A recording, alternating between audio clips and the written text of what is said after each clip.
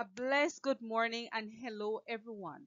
Our group is Gwen Lizarraga High School team number one.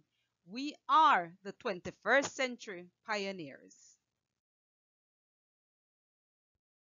Our dynamic group members are Miss Dawn Gillett, Miss Stephanie Jones, Mrs. Gina Lamb, Mrs. Rosalind Miranda, Mrs. Paulette Augustus, Miss Trislin Lord, Mrs. Claudette Norales, and Miss Tracy Flores. We would like to begin with a short video, one that we hope will boost your morale so that you can sit back and endure our presentation. I've been researching ways to raise morale, and I found an interesting article in a scientific journal. Oh, was it from the American Journal of No One Cares? According to a recent study, the physical act of smiling can improve your mood. I suggest we give it a shot. Hmm? Now you all try. Big smiles. Bigger, bigger. Great. Now we just have to stay like this for the next two hours. Can you feel it? Working? I don't have any enamel on my teeth, so the cold air is excruciating. Maybe if you brushed your teeth once in a while, this wouldn't be a problem. I do brush my teeth. They're decaying from acid reflux. You're embarrassing yourself. Crikey! You're not Australian, Gina. Get stuffed, you drongo! Guys, seriously, too much exposure to air and they will turn to dust. This isn't working out as well as I'd hoped. Time for the next level. Forced laughing.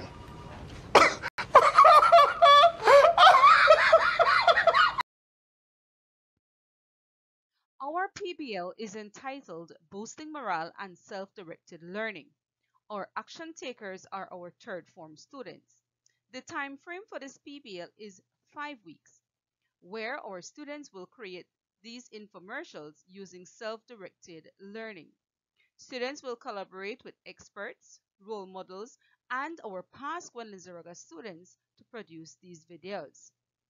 Next, I will turn you over to our colleague, Ms. Tracy Flores, who will be looking at our learning goals. Thank you. Stephanie. Good day all. I'll be presenting on learning goals. Strand number one is personal development.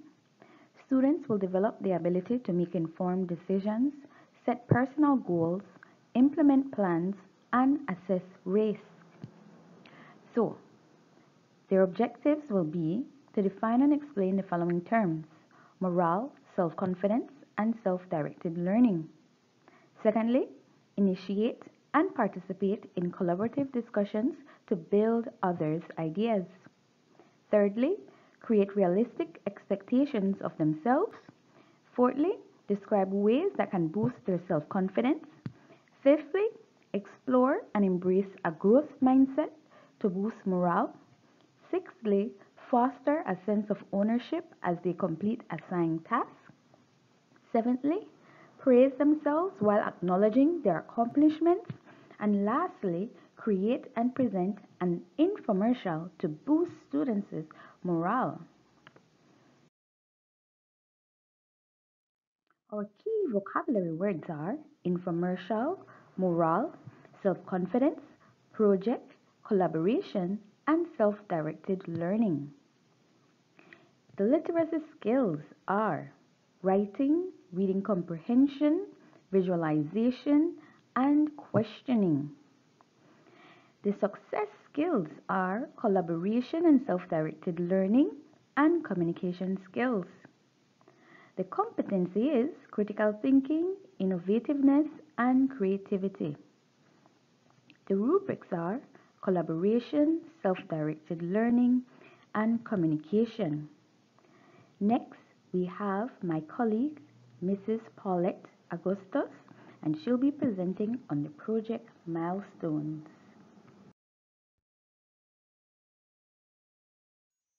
Thank you very much, Ms. Flores. I will now focus on the milestones that we have set in place for our project's completion. Week one.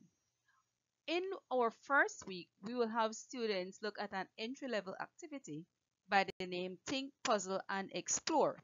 This will allow students to provide feedback on what it is that they know about the project, what it is that they would like to know, and how is it that they are going to figure out ways in order to answer those questions for the queries that they may have. Week 2. We will use the microlab and this will allow students to generate questions and research based on expectations that have been set from week 1. Meet with experts and past Gwenlist students who will be participants in the video presentations that they will be putting together. They will then collect their data, prepare a reflection, and lastly, for this week, they will be looking at a checklist to ensure that they have all the necessary parts for to proceed with their project. Week 3.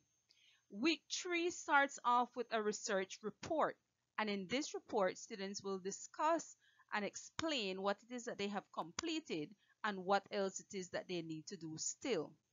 A draft video will be shown to students which will be provided by the teacher. Collaborating in editing and preparing their final presentation for their infomercial will be done in this week as well. Week 4.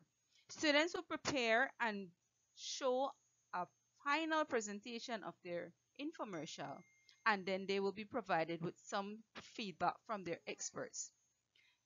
Week 5 will see where students will present their final final project. Along with that they will do a formative assessment and this assessment will help them to look at what it is that they have done. They will get the views from their peers and also views and feedback from the teacher.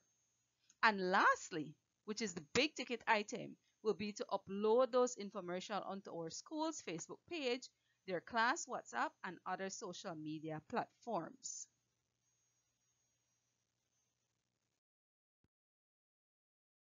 Now, let's look at some key questions that our students may have that will help them to better prepare in getting to the final presentation of their infomercials.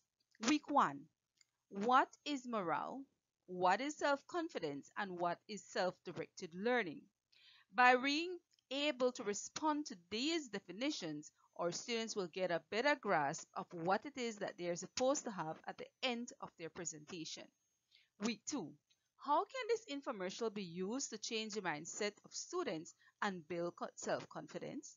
What are the benefits of a boosted morale and how can a boost in my morale affect my learning? Week 3. How would you design a creative infomercial to boost morale? How can you improve group participation? What impact will these infomercials have on the Gwenlist community? How does collaboration with a mentor affect the quality of your project? What would you do to boost student morale if you were the head of the student council?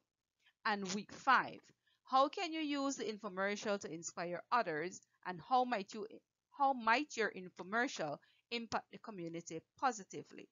Now, it depends on what it is that our students are able to grasp and how is it that they're able to respond to these questions that will give them that maximum boost in order to be excellent in their final infomercials.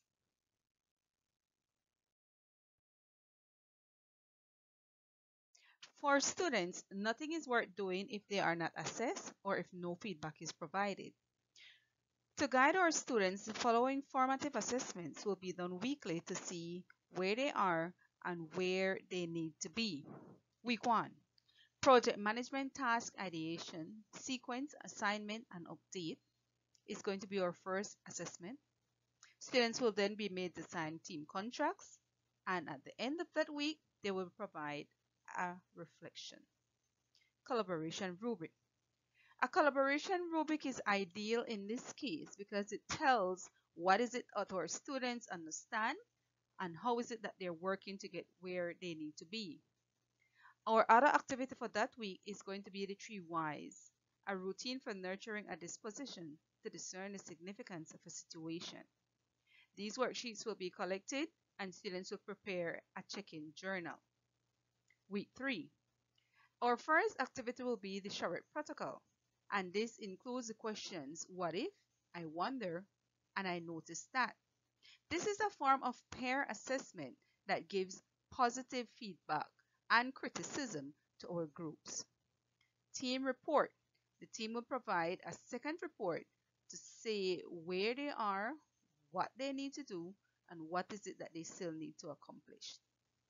And finally, a student reflection journal will be prepared at the end of this week.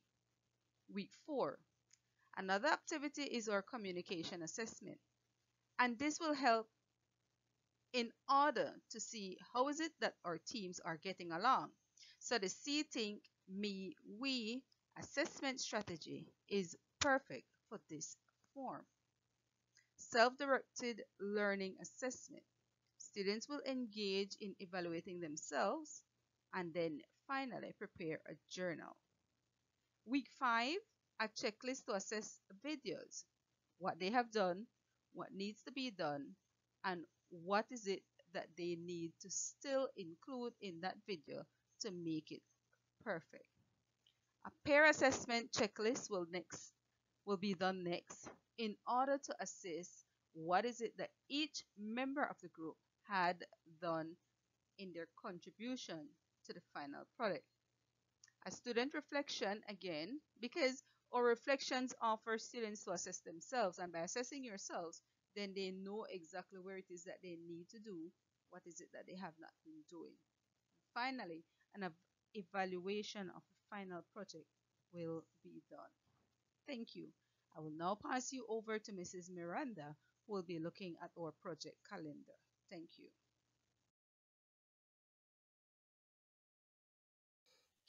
Thank you, Mrs. Augustus. Section 4 is Project Calendar. The driving question is, what are key concepts students must understand and the importance of self-directed learning?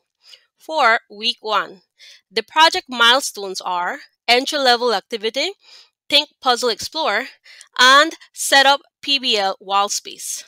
The key student questions are what is morale, what is self-confidence, what is self-directed learning.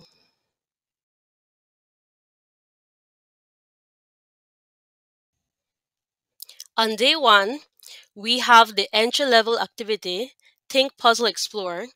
This is where students will state what they think they know about the topic, what questions or puzzles they have, and how we can explore these puzzles. The teacher will assist students in brainstorming the norm for the project process. The learning goals will then be introduced to the student and the project charter will be developed with its general project information, project team, stakeholders, purpose, objectives, deliverables, and milestones. We will conclude this day by discussing key questions for the week. To conclude our presentation, we have a quote by Albert Einstein. Education is not the learning of facts, but the training of the mind to think. Thank you for your time and have a blessed rest of the week. From GLHS Team Number 1.